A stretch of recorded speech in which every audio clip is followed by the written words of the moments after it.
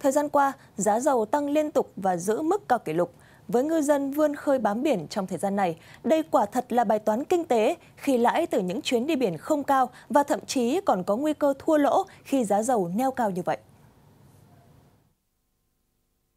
Tại cảng cá Hòn Rớ, xã Phước Đồng, thành phố Nha Trang, tỉnh Khánh Hòa, rất nhiều tàu cá đang neo đậu. Những tàu này chủ yếu hành nghề giã cào vùng khơi xa, khoảng 100 hải lý và một số tàu hành nghề lưới rê. Theo chia sẻ của ngư dân, để vươn khơi đánh bắt hải sản cho chuyến biển từ 10 đến 15 ngày, đôi tàu của ngư dân cần 1.000 cây đá, 14.000 lít dầu cùng với lương thực thực phẩm với tổng chi phí gần 400 triệu đồng.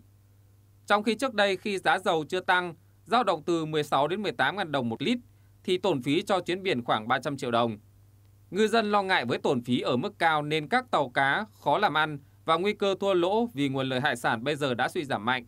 Mỗi chuyến biển đối với nghề giã cào khơi bây giờ đánh bắt trung bình được 30 đến 40 tấn các loại, chủ yếu là cá vụn. Trong khi giá cá không lên, bình quân bán khoảng 10.000 đồng một kg. Giá dầu lại tăng mạnh nên tàu đánh bắt lợi nhuận thấp và khó đảm bảo đời sống cho bạn tàu. Theo Chi cục Thủy sản Khánh Hòa, toàn tỉnh có 708 tàu đánh bắt xa bờ có 15 mét trở lên. Việc giá dầu tăng cao đã ảnh hưởng đến nhiều ngư dân bám biển. Vì để một chiếc tàu ra khơi hoạt động đánh bắt hải sản, chi phí nguyên liệu chiếm đến 70% tổn phí. Thế nhưng đến mùa vụ đánh bắt cá ngừ, ngư dân phải bám biển đánh bắt để kiếm sống. Thưa quý vị, tình hình dịch bệnh vẫn tiếp diễn, kèm theo đó là thiên tai, mưa bão, làm nông sản, trong đó có cây tỏi mất mùa, khiến cho người dân tại xã Vạn Hưng, huyện Vạn Ninh, tỉnh Khánh Hòa đang rơi vào cảnh lao đao. Hiện nay, nông dân tại địa phương này đang tiến hành thu hoạch các diện tích trồng tỏi. Tuy nhiên, năng suất đạt được lại rất thấp so với các năm trước do thời tiết bất lợi và sâu bệnh. Năm nay, nông dân xã Vạn Hưng, huyện Vạn Ninh, tỉnh Khánh Hòa xuống giống khoảng hơn 150 ha tỏi, giảm khoảng 10% so với cùng kỳ năm trước. Trong quá trình phát triển, cây tỏi gặp điều kiện thời tiết bất lợi như mưa kéo dài, sương nhiều, khiến sâu bệnh phát triển, gây cháy lá, đục củ. Theo người trồng tỏi địa phương, diện tích nào sớm phát hiện để xử lý sâu bệnh có thể giảm hư hại còn dưới 50%, còn không thì hư hại từ 60 đến 70%, thậm chí có diện tích không thể cứu được và nông dân phải chịu mất trắng. Hiện nay, nông dân xã Vạn Hưng đã thu hoạch khoảng 50% diện tích với giá thu mua tỏi dao động từ 10 đến 25.000 đồng một kg. Những năm qua, tỏi luôn là cây trồng chủ lực của xã Vạn Hưng. Tuy nhiên, thời gian gần đây, người trồng tỏi Vạn Hưng luôn trong tình trạng bất lợi với điệp khúc, được mùa, mất giá. Một số diện tích trồng tỏi trước đây đã được nông dân chuyển sang trồng cây màu khác để giảm chi phí đầu tư và giảm rủi ro hơn.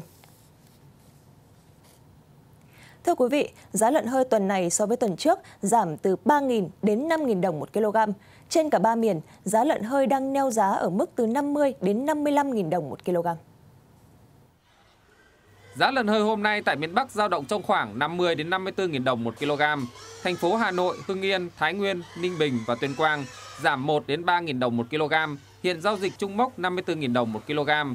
Cùng đa giảm còn có Bắc Giang, Yên Bái, Nam Định, Thái Bình, Hà Nam và Vĩnh Phúc khi thương lái tỉnh này đang thu mua lợn hơi với giá 53.000 đồng 1 kg, giảm 3 đến 4.000 đồng 1 kg so với tuần trước. Phú Thọ và Lào Cai giảm 5.000 đồng 1 kg trong tuần này.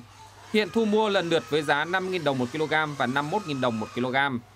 Giá lợn hơi hôm nay tại miền Trung và Tây Nguyên giao động trong khoảng 53 đến 55.000 đồng 1 kg. Quảng Bình và Bình Thuận đang thu mua tại mốc thấp nhất khu vực 53.000 đồng một kg, giảm 4.000 đồng một kg so với tuần trước. Sau khi giảm 3.000 đồng một kg, Nghệ An, Hà Tĩnh, Thừa Thiên Huế, Khánh Hòa và Đắk Lắk hiện giao dịch với mức 54.000 đồng một kg. Các tỉnh còn lại đồng loạt giảm 2.000 đồng một kg xuống còn 54 đến 55.000 đồng một kg trong tuần này. Giá lợn hơi hôm nay tại miền Nam giao động trong khoảng 54 đến 55.000 đồng một kg. Cụ thể sau khi giảm 3.000 đồng một kg, thương lái tỉnh Long An đang thu mua lợn hơi với giá 54.000 đồng một kg. Tương tự, thành phố Hồ Chí Minh, Vũng Tàu, Tiền Giang và Bến Tre điều chỉnh giảm 2.000 đồng một kg xuống còn khoảng 54 đến 55.000 đồng một kg.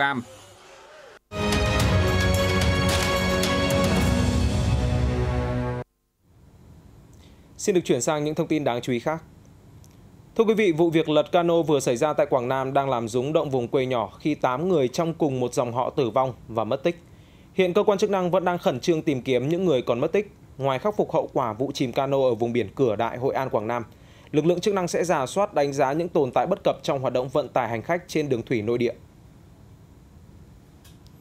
Cụ thể, 6 người tử vong, 2 người mất tích trên biển Cửa Đại Quảng Nam trong vụ chìm cano chiều ngày 26 tháng 2, thuộc ba gia đình có quan hệ họ hàng, thông gia với nhau, có địa chỉ ở thôn Đoài, huyện Đông Anh, Hà Nội, cùng nhau tổ chức đi du lịch trong dịp đầu năm. Đoàn có 14 người, thì 6 người thoát nạn, 6 người chết. Hiện còn hai cháu bé đều sinh năm 2019 đang mất tích.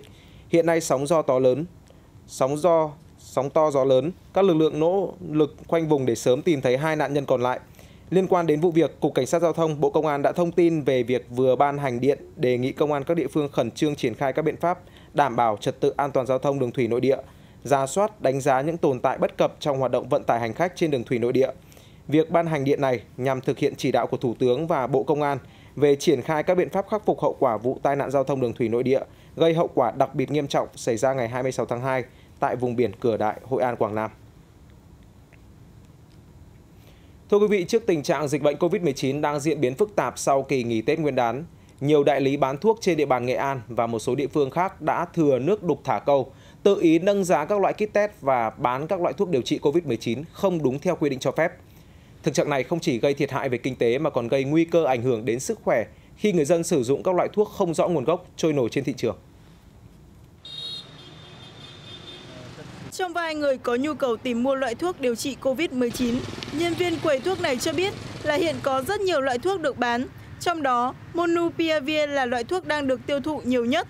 Với hộp loại 400mg như thế này, được bán với giá từ 2,7 đến 3 triệu đồng, trong khi giá thuốc Monupiravir của Việt Nam sản xuất hiện chỉ có giá khoảng 250.000 đồng trên một hộp. Đây có Monupiravir không em? Đó là bao tiền một hộp em? có những cái lô hàng là có những gói thuốc là đến đến 3 đến 4 triệu.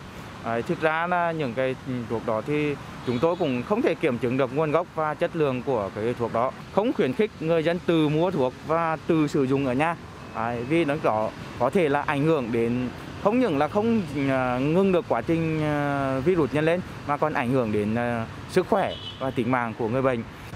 Bên cạnh các loại thuốc điều trị COVID-19 không rõ nguồn gốc, một số quầy trên địa bàn thành phố Vinh, Nghệ An còn bán các loại vật tư y tế chưa được cấp phép với mức giá khác nhau. Bộ kit test nhanh Gen Body sản xuất từ Hàn Quốc này được bán với các mức giá khác nhau từ 70 đến 135.000 đồng. Trước đây thì ờ, chưa trước khi chưa chúng tôi chưa nắm được cái thông báo nhỏ thì ờ, thì chúng tôi cũng bán nó mà với, là bán lẻ tẻ đối với đối với cho dân nữa thôi. Nhưng mà sau khi có thông báo của sở y tế thì chúng tôi lại đã dừng lại khẳng định là buôn bán lẻ tẻ, nhưng trên Facebook của cơ sở này quảng cáo có thể cung cấp đến hàng nghìn bộ test nhanh kháng nguyên COVID-19 cho các đại lý. Khi đoàn thanh tra của Bộ Y tế đến kiểm tra, thì chủ cơ sở này đã không xuất trình được các giấy tờ cấp phép buôn bán thiết bị y tế liên quan đến điều trị COVID-19. Trong cái thời gian vừa rồi, thì ngành y tế à, cũng đã thành lập à, nhiều cái đoàn à, thanh tra kiểm tra diện rộng trên bàn toàn tỉnh và cũng đã xử lý à, nghiêm minh một số các cơ sở mà đã có à, bán cái thuốc à, để phòng chống Covid và ngành y tế đảm bảo rằng tất cả các cái bệnh nhân bị nhiễm Covid-19 thì sẽ được nhân viên y tế tiếp cận và cấp phát thuốc miễn phí. Sở Y tế Nghệ An cũng đã ban hành văn bản yêu cầu các cơ sở kinh doanh dược phẩm trên địa bàn không được mua, bán thuốc và các loại kit test chưa được cơ quan chuyên môn cấp phép. Việc người dân tự tìm hiểu, mua và sử dụng thuốc điều trị COVID-19 một cách tùy tiện không những gây ảnh hưởng đến sức khỏe của bản thân mà còn gây khó khăn trong công tác phòng chống dịch bệnh hiện nay. Trở lại với thông tin tiêm vaccine phòng COVID-19 cho trẻ từ 5 đến dưới 12 tuổi. Thưa quý vị, mới đây, Thứ trưởng Bộ Y tế Đỗ Xuân Tuyên đã cho biết thủ tục mua vaccine COVID-19 cho trẻ từ 5 đến dưới 12 tuổi cơ bản đã hoàn tất.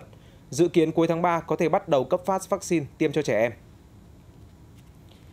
Trước đó, chính phủ đã có quyết định đồng ý cho Bộ Y tế mua 21,9 triệu liều vaccine Pfizer để tổ chức tiêm cho các trẻ trong nhóm tuổi này. Hiện các cơ quan chức năng của Bộ Y tế đang giả soát lần cuối về số vaccine sẽ đặt mua đợt đầu, đồng thời trao đổi với nhà sản xuất, Tổ chức Y tế Thế giới WHO về việc có thể tiêm cho trẻ đã từng mắc COVID-19 hay không. Các thủ tục mua sắm vaccine dự kiến tháng 3 sẽ hoàn tất và cuối tháng 3 bắt đầu được nhận vaccine, hoàn thành kiểm định để có thể cấp phát vaccine tiêm cho trẻ em từ 5 đến dưới 12 tuổi. Thưa quý vị, tối qua ngày 26 tháng 2, Giải thưởng Thành tựu Y khoa Việt Nam 2021 với chủ đề Phòng chống dịch COVID-19, sứ mệnh Blue Trắng đã diễn ra. Tại sự kiện, hội đồng chuyên môn gồm các giáo sư, tiến sĩ, bác sĩ chuyên khoa trong lĩnh vực y tế đã thống nhất chọn 10 thành tựu y khoa ấn tượng năm qua để vinh danh và trao giải.